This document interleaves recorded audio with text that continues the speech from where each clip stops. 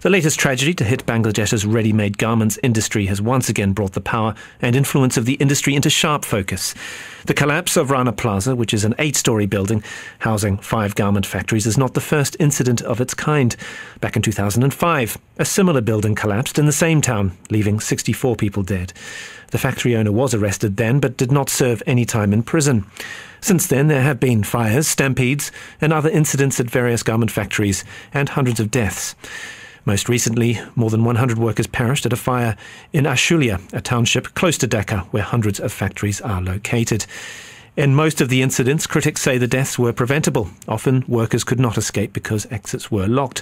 But do workers from third world countries pay the price for the West's cheap clothes? Should pressure be brought to bear, either on the consumer, on the multinationals themselves, or on governments that allow these companies to operate in the way that they do?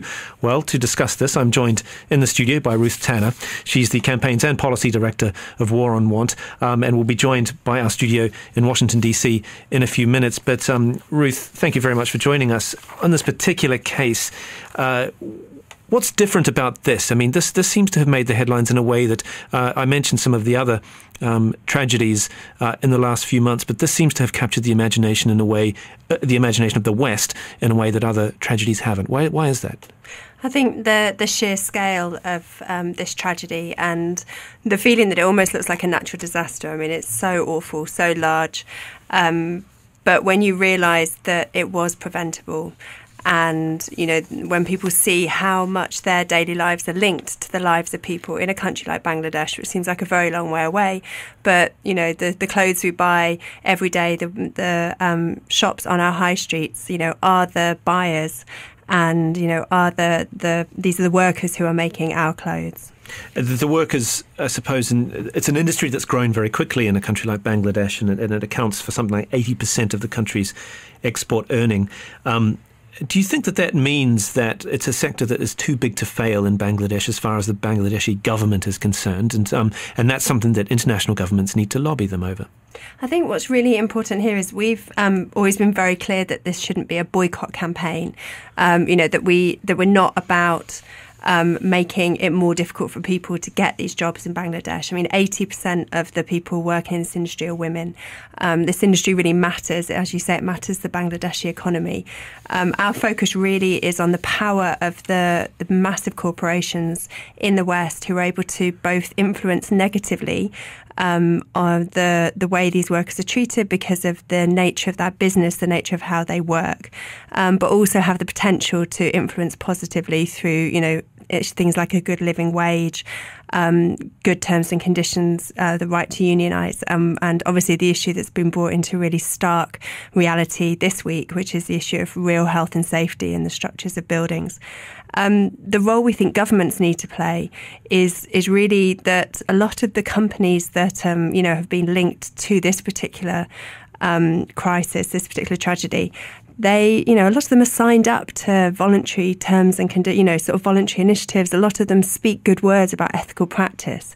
And we don't actually see that in reality. And I think what we've seen in Bangladesh this week at Rana Plaza um, really brings home the, the stark contrast between the, the good words, the ethical words of the companies and the reality of what happens to their workers. But uh, I suppose this case is slightly different in that the owner um, is, is accused of building additional floors on top of an already uh, full building, and perhaps that's something that the, that, that the people who are the customers, the Western clients, would not necessarily be aware of. I mean, what, what or is this, or is this, is this an attitude that um, they have to absolutely uh, meet the orders at a price that the Western companies like Primark want? That's exactly the sort of thing that these companies should be aware of. Um, you couldn't imagine in the UK that um, a company wouldn't feel responsibility for the sort of structures that the people who are their suppliers are working in.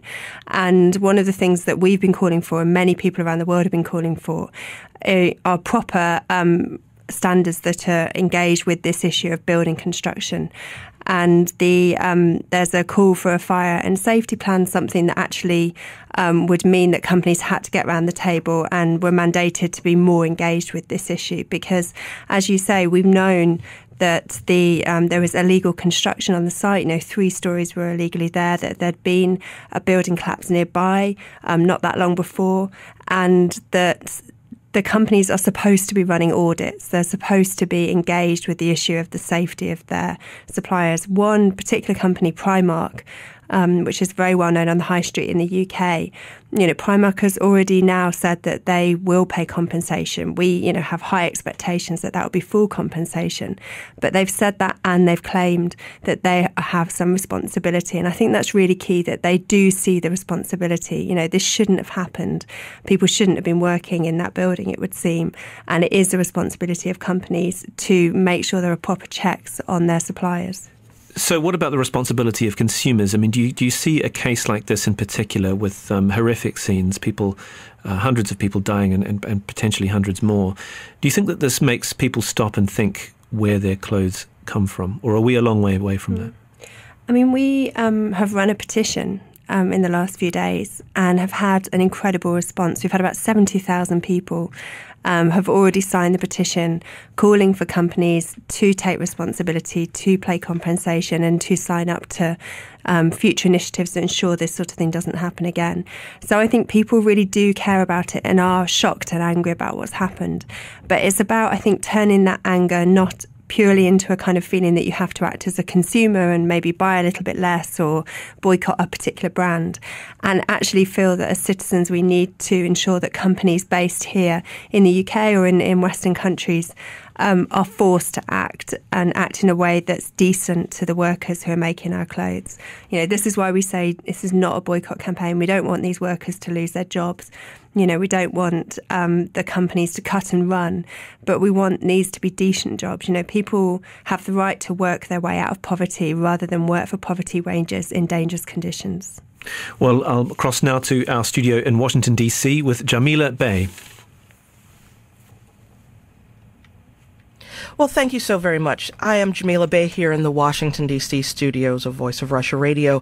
And of course, this Bangladesh factory fire is indeed something that the world is talking about here in the U.S. Uh, many of our companies, Walmart, Target, Sean John, uh, are likely to have had workers in that particular fire who were making low low cost clothing. Uh, Charles Kernaghan is our guest here. He is the executive director of the Institute for Global Labor and Human Rights. And he is known perhaps to many in America and many around the world as the man who made Kathie Lee Gifford the celebrity host and former gospel singer cry. Um, Charles, thank you so much for being with me today. Well, thank you. Now, this this conversation we're having absolutely gets into that conversation you had with Kathie Lee years ago, back in 1996, when she claimed, Well, I'm a celebrity endorser. I really don't know the conditions of the workers who are making my clothes. Um, what then is my responsibility? And um, you, you did not mince words in talking to her. Would you refresh us uh, how you explained uh, the level of, you know, culpability really does not end with the moment one signs a contract, be they a celebrity endorser or be they a corporation who, you know, takes advantage of these low cost workers? Yes. Well, in, in the, the, the case of Kathie Lee Gifford, we had written her um, because we had discovered in Honduras on one of our trips we found that there were children making the Kathie Lee Gifford label. And we met with the workers at a very broken down, uh, you know, bodega eh, behind a wall where no one could see us. And the workers came and showed us labels that had the picture of Kathie Lee Gifford on it and said a certain portion of the proceeds from this garment will go to various children's charities. The only problem was is that the workers were children and it was a Walmart label. It was Walmart's Kathie Lee label.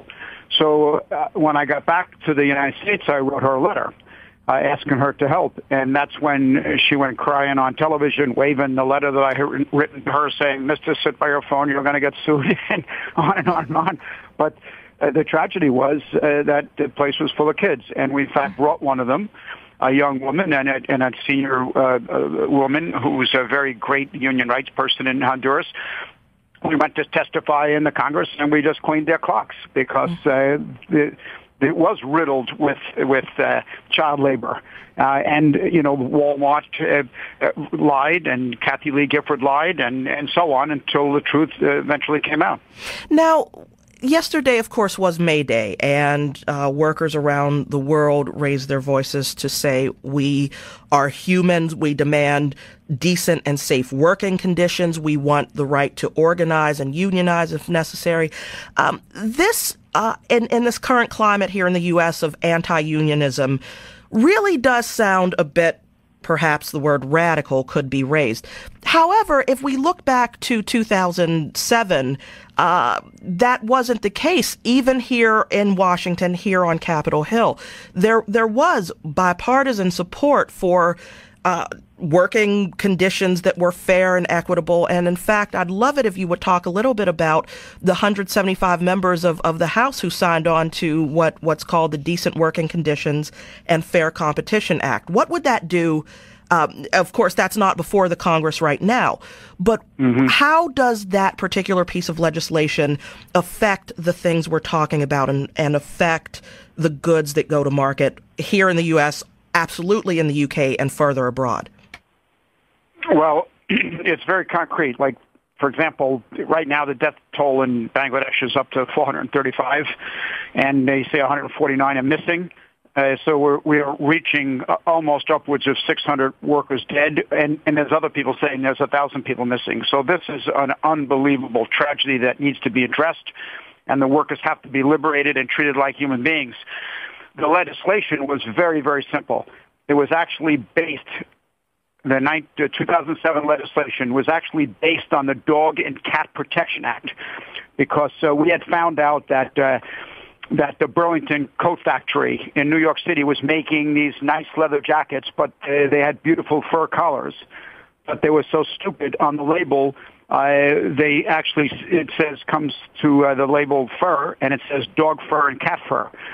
So, of course, dogs and cats were being killed and skinned in China so that there could be nice fur collars on these jackets.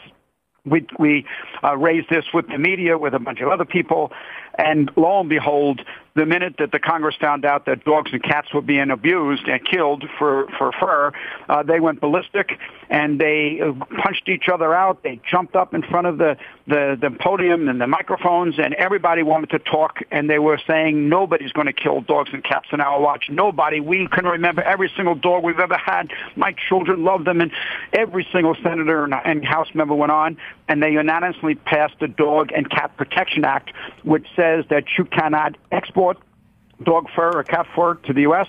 You can't import it, and you can't sell it. So the Congress stood up very bravely to protect dogs and cats.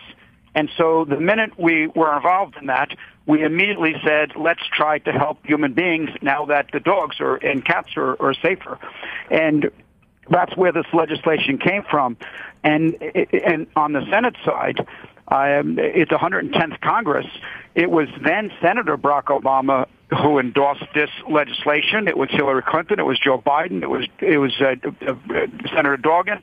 Uh, it was about 27 members of the Senate, and in the House, close to 170 members. And the bill was based actually on the Dog and Cat Fur Act. It was the Decent Working Conditions and Fair Competition Act, and all it said was, you know, we're not setting wages around the world. That's up to the workers in these countries. So we're not going to pontificate that what wages should be. That's up to the local country and the local workers. But what we are going to say is you're not bringing uh, sweatshop products into the United States if those products are violated under the ILO, the International Labor Organization's worker rights standards, which the whole world says they agree to. So the standards are very simple. We're not setting wages, but you will not bring a product into the United States if it was made by a child. It was made by forced labor. You're not bringing it into the United States if the workers do not have their right to organize, to have a union, to bargain collectively. If you violate that, and, or you violate decent working conditions, this product will not be able to enter the United States, and it can't be sold in the United States, and it can't be U.S. So what we're saying is, if the whole world agrees that the ILO labor standards, the International Labor Organization's inter- internationally recognized worker rights standards, are adhered to, uh, we could make a world of difference all across the world because the United States, of course, is one of the most powerful uh, countries.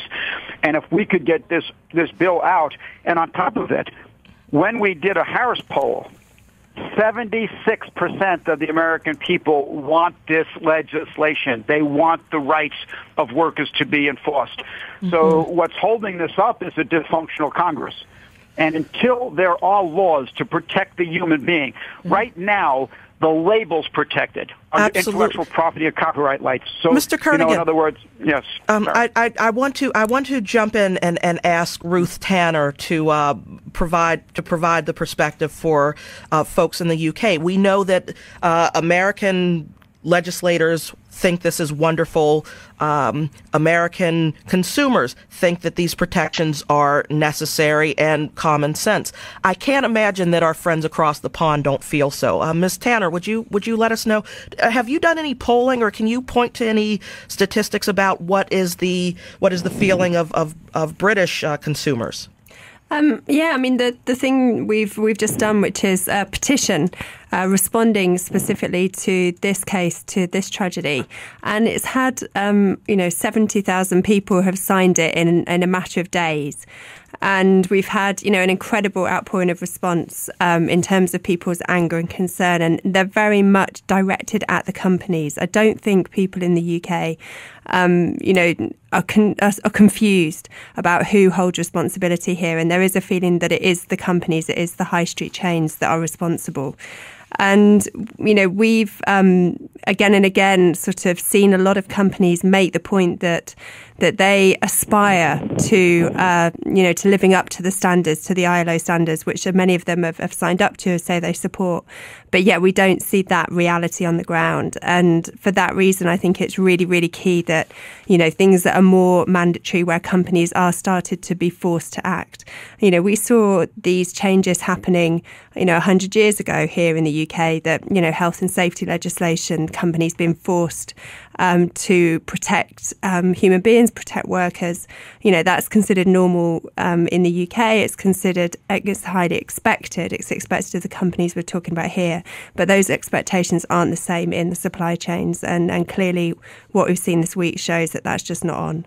But in terms of um, your call for not a boycott, that these goods should not be boycotted, given, I suppose, the importance it has to a country like Bangladesh. It empowers women as well. A considerable uh, proportion of the workforce who work in these garment factories are, are women. I mean, is it not, isn't it, is it not used as fuel, as, as a kind of cause by anti globalists to uh, move, shift production out of these developing countries and back into the West? Um, the, uh, I mean, certainly comment over the last week or so, many uh, anti-sweatshop campaigners, if you call them that, would be quite happy to see these factories um, shut down, almost globalization reversed. I mean, is there a way of um, not conflating those two issues, pushing for better rights, but let's accept let's let us accept that cheap goods will be will be produced in these countries?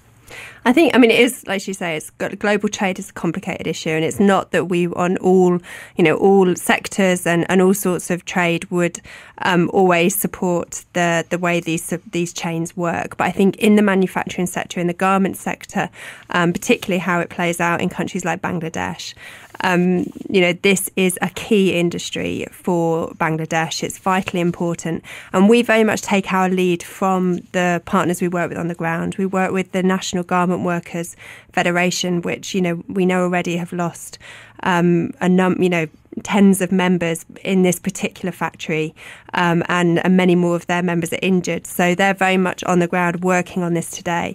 And they've always been very clear that they don't want a boycott. They want us to act um, in the West to make sure these companies are held to account. But if people stop buying the clothes, then and if this industry falls apart, then that will only have a negative effect on the workers.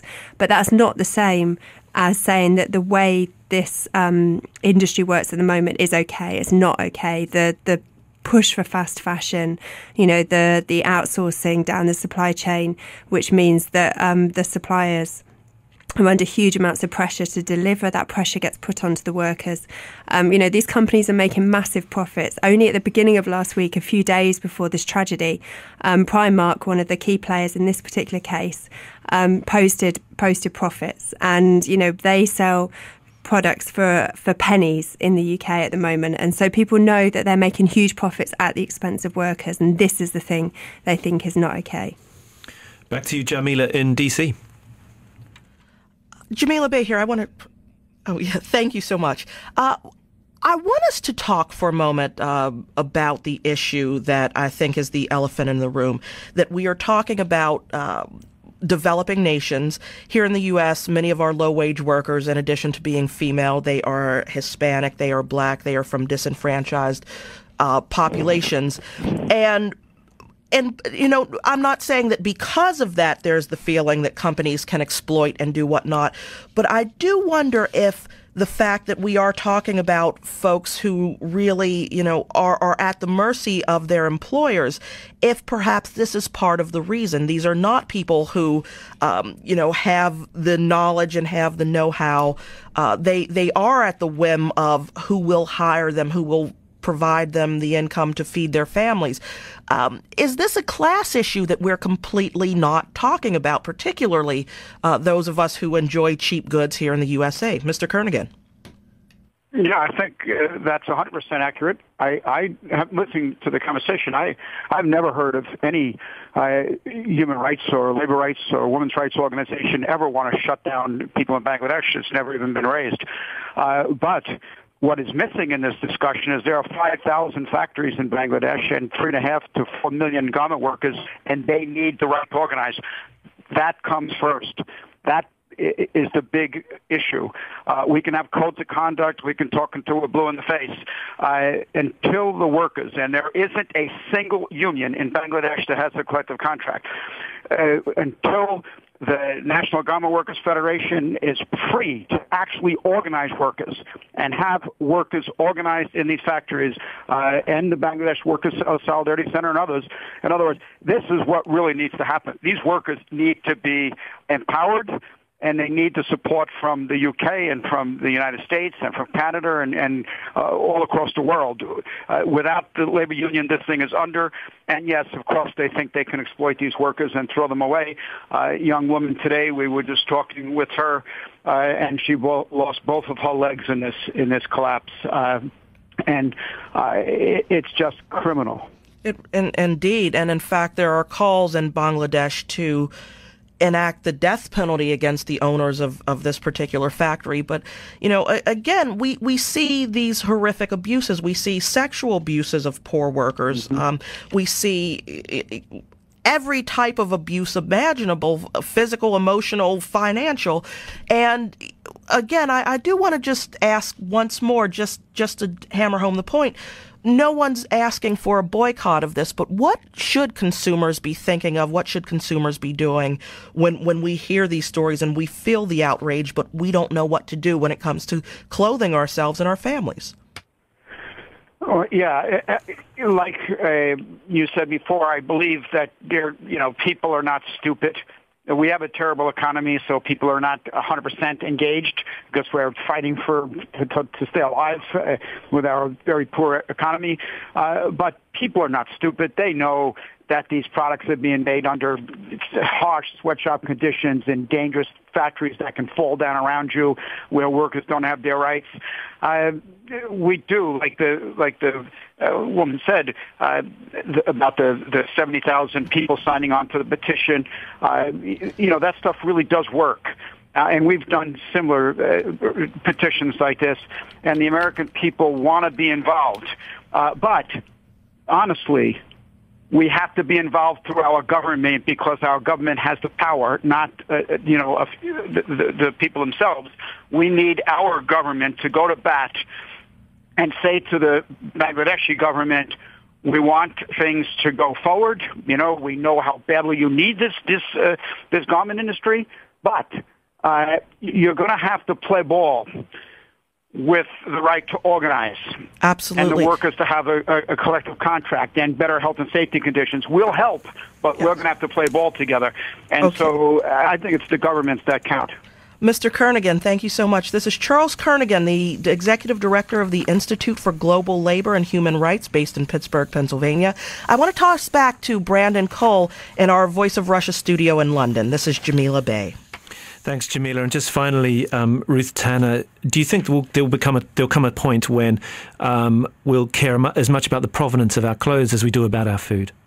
Um, I think what we've seen this week could be a tipping point. I mean, this story has hit the headlines like no other um, in relation to this issue, and I think people have been really touched. And I think uh, Charles's point is key. You know, this is um, about both letting people know as, as consumers that there's something wrong about this supply chain and what's happening, but also making people act as citizens and getting governments to act and companies to act. Well, we'll have to leave it there. Ruth Tanner, Campaigns and Policy Director from the War on Want, joining me in the London studio. With Jamila Bey in Washington was Charles Kernaghan from the Institute for Global Labour and Human Rights, based in Pittsburgh.